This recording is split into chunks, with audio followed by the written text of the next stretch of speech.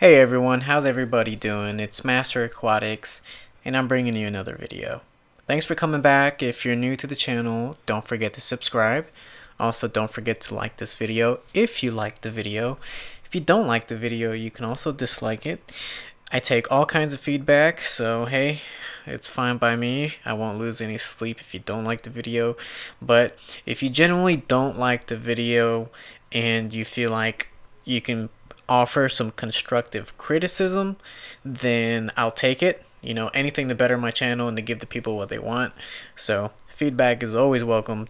Also, if you really like this video share this video i'd really appreciate it the more people that know about my channel um, the more i'm able to produce content for you guys and i really want to keep this going um, i won't stop but i mean if i have more support it'll be a lot easier for me and i could use more of my time to create stuff for you guys and that's what i really want to do so let's make it happen by the way, also happy President's Day. Uh, today, as I'm recording this, it is currently President's Day. By the time this gets uploaded, it'll probably be a day or two after that um, because of rendering and upload time, which takes forever.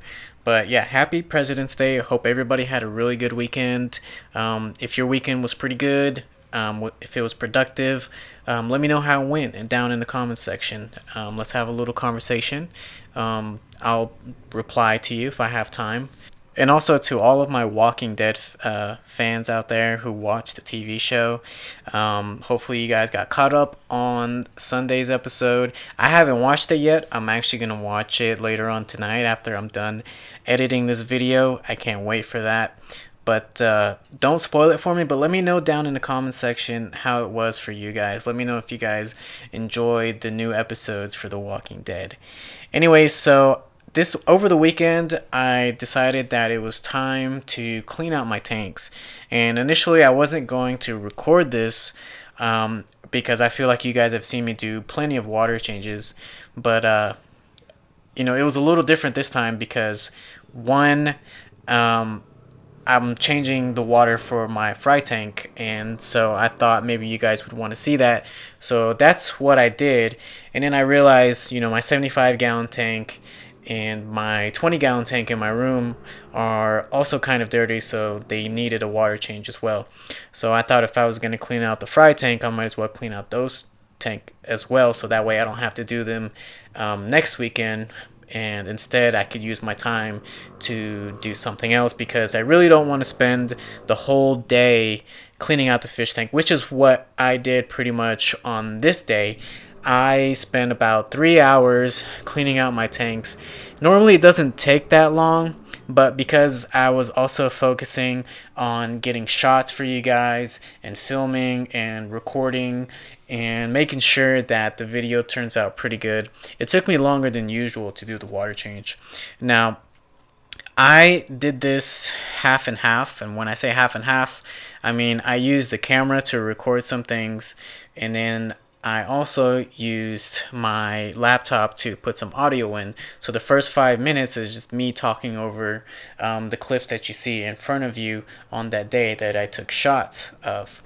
Um, so around the five minute mark is when you actually um, uh, hear me talking to the camera and record what I was doing as far as the water change goes. And while I was doing the water change for my fry tank, I realized that my heater had broke. Um, I'm not sure what happened to it, but I noticed that in the last couple of days, um, there was like these white things underneath the heater. You can't really see it in this clip, but later on, as you watch further into the video, you'll see exactly what I'm talking about. Um, I'll try to list in the description the time frame where I'm actually talking about the broken heater. And it was pretty tragic, but at the same time, I was really lucky because nothing happened except a little mild burning of burning of my finger.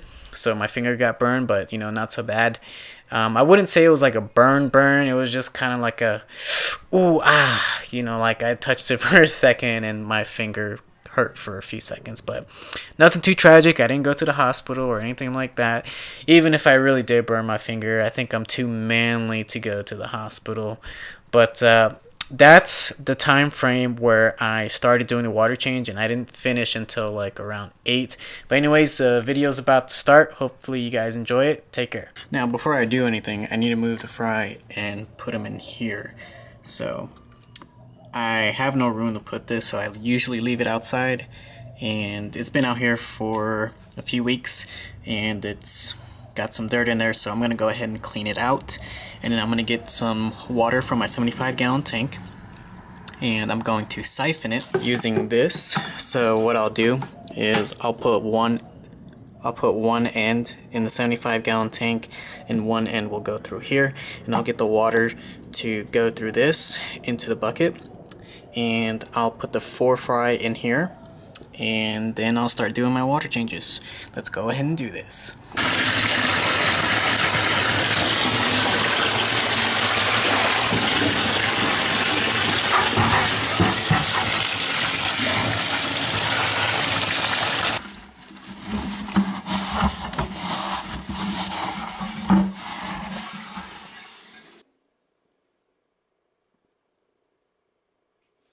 Now, actually, before I get the fry from this tank, I'm going to go ahead and actually take out the sponge filters first. And I'm going to go ahead and clean that first and leave them in the bathtub. And then I'll come back and get the fry.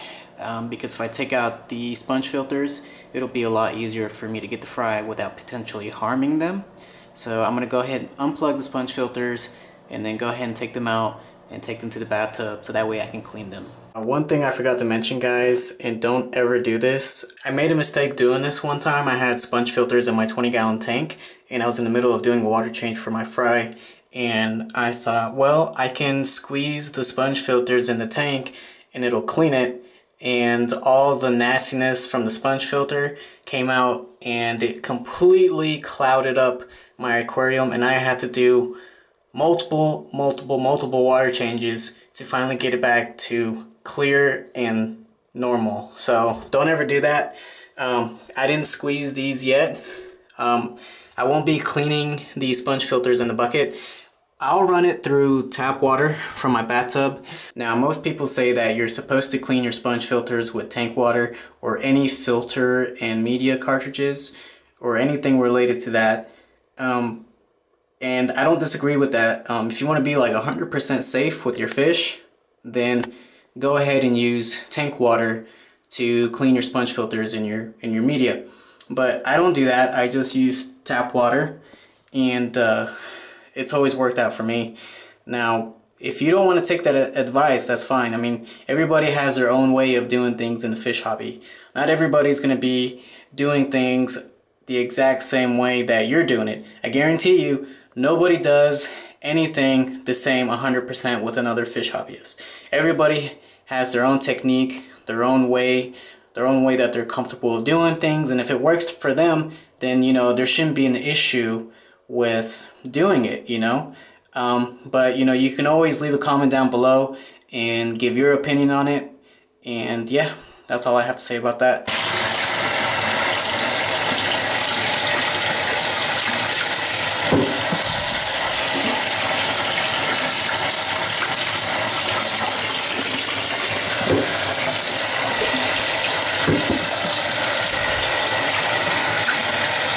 Right, they're nice and clean. Gave them a good squeeze. And now we're good to go. Let's go ahead and put my babies in here. They're waiting on me. Okay guys, so if you guys are gonna do this, don't be like me, okay? Be smart about it. Me, I'm not so smart about it, okay? I have the tube in the tank and I have this weighing it down it might be a little too heavy. I hope it doesn't crack the glass, but um, I'm doing this because I want to be able to good, get a good shot for you guys. So I'm doing this for you guys. I'm risking this glass cracking. Whatever. Here goes nothing.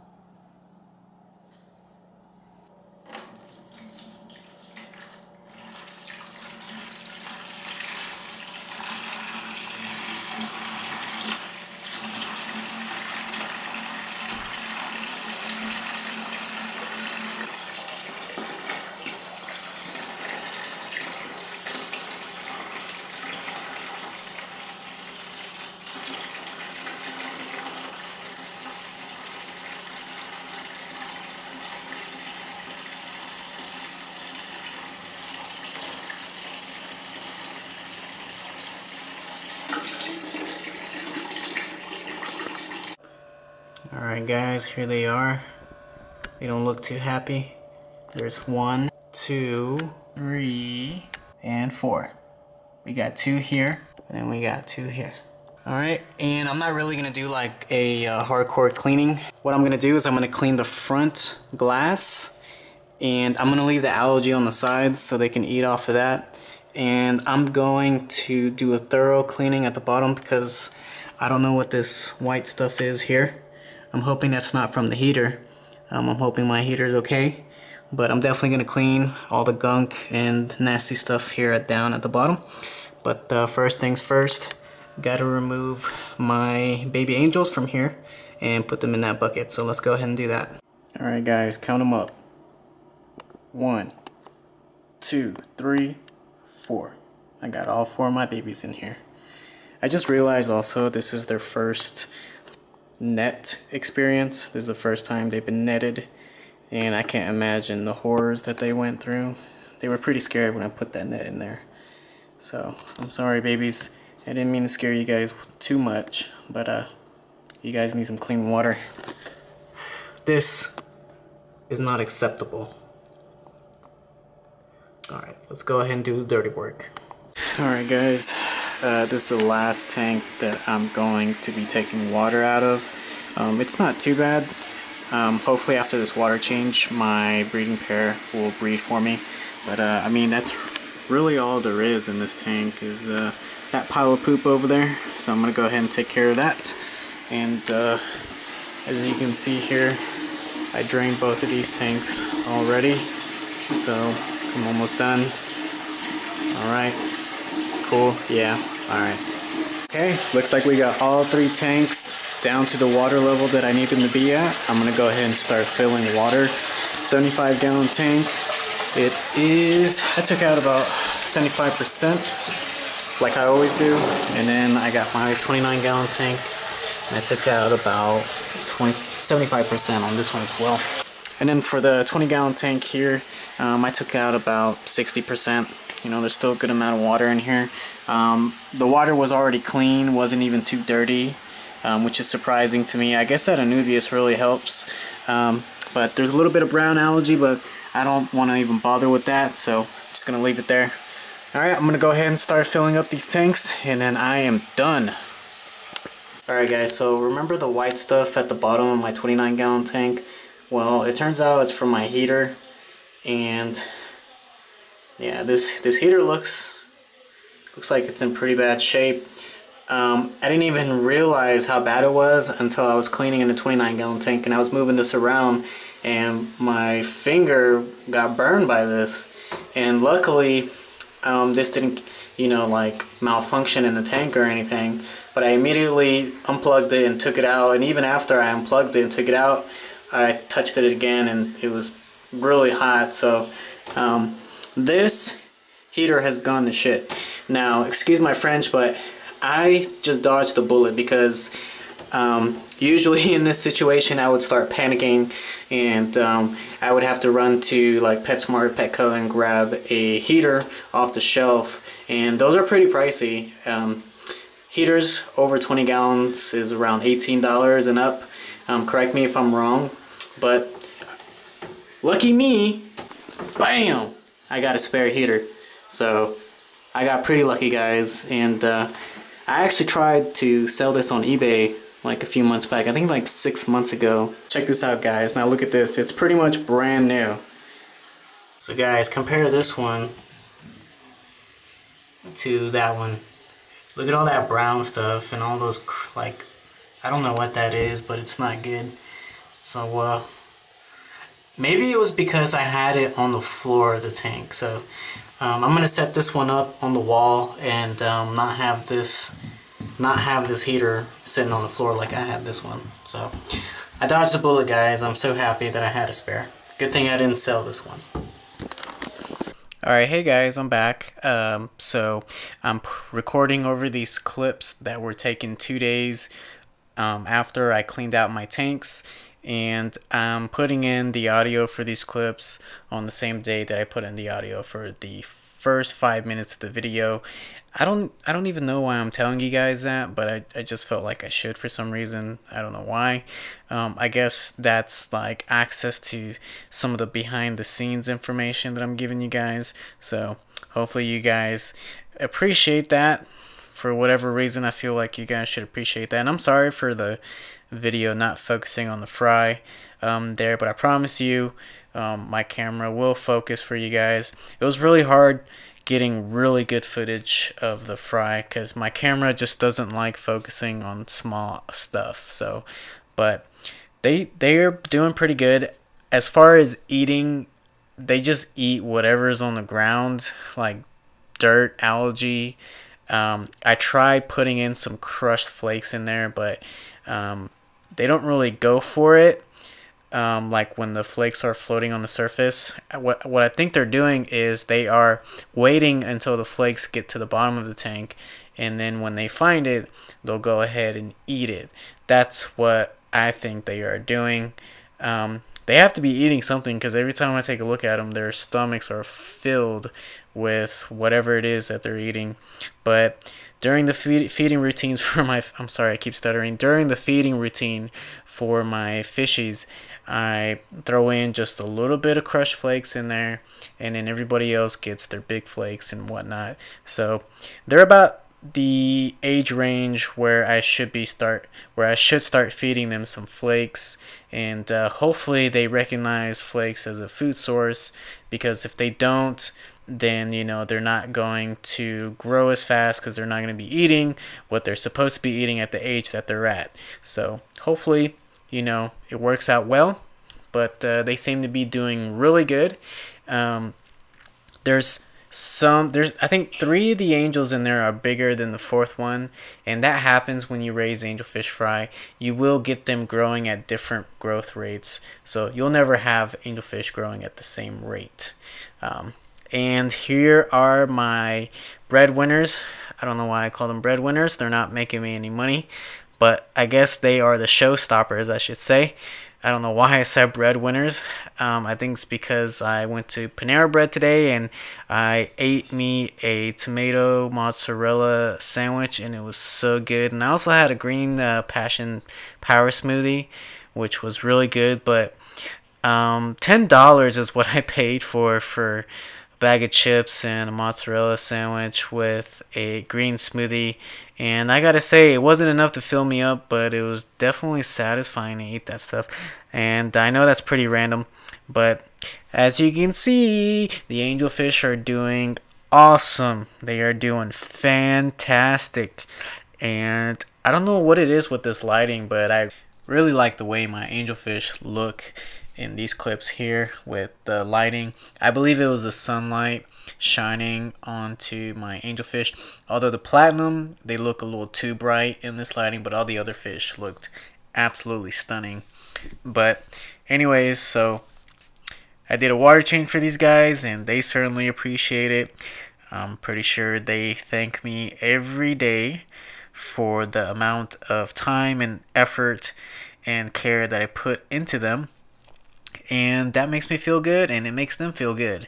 So hopefully you guys enjoyed watching me taking care of my babies and um, hopefully you guys check your heaters routinely now and make sure that everything in your aquarium is functioning properly so that way you know you don't suffer any losses um, you don't hurt yourself or destroy your tank. So just want to remind you guys always check your heaters, your filters, check everything. Check your air pump. Make sure everything is up to par.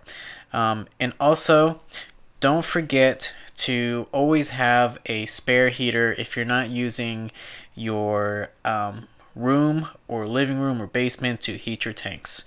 Um, anyways, that's it for this video. Hopefully you guys enjoyed it. I put a lot of effort into editing this video. Um, sorry for the defocus on the fry. Again, my camera doesn't like to focus on small things. Uh, I do want to improve and get a new camera. Hopefully that's soon.